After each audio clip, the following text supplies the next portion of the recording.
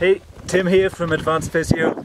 Uh, we have, uh, I'm in the Cairngorms um, and we've just uh, just walked about three hours about six miles just from the wee forest down there.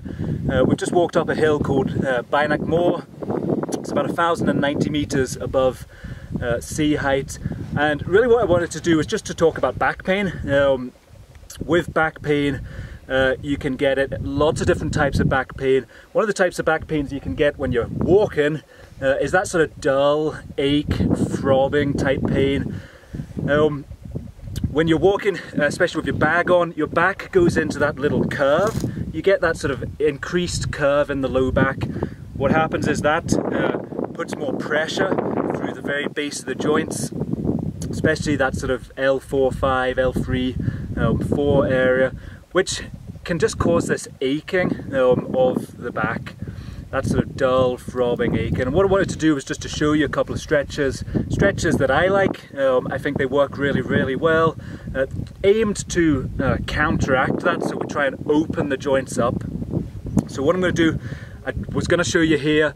I tried doing it here and I felt like I was about to fall off. So what I'm going to do I'm going to pick the camera up. We're going to go over to the other side um, and I'll show you a couple of wee stretches just over there.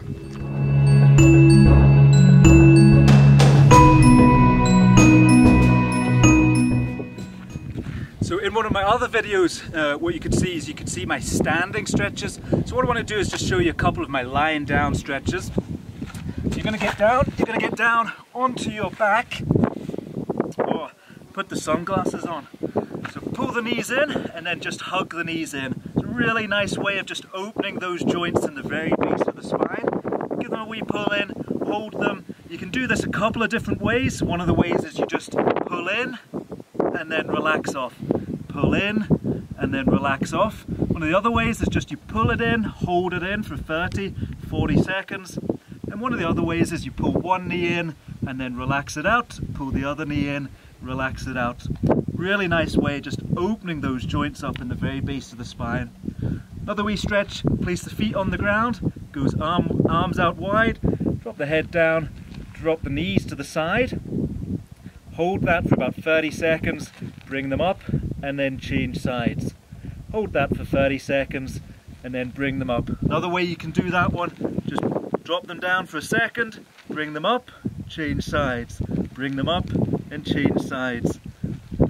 Last little stretch, you can go legs all the way out, arms out wide, bring the knee up and over, bring it up and over to the other side, hand comes onto the outside edge of the knee, you add on pressure, hold that position, and then you let go.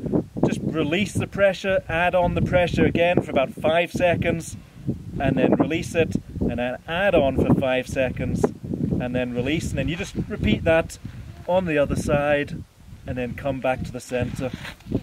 So they are my uh, top stretches for back pain. Um, really, really useful, really nice ones, really good, just especially if you've been out walking, nice way of just opening the joints up uh, and getting things moving, getting them lubricated um, before the hike back. So we've got another three hours to hike back. Um, hope everybody's doing well and we'll be in touch soon. Tim at Advance Physio. Nice to see you.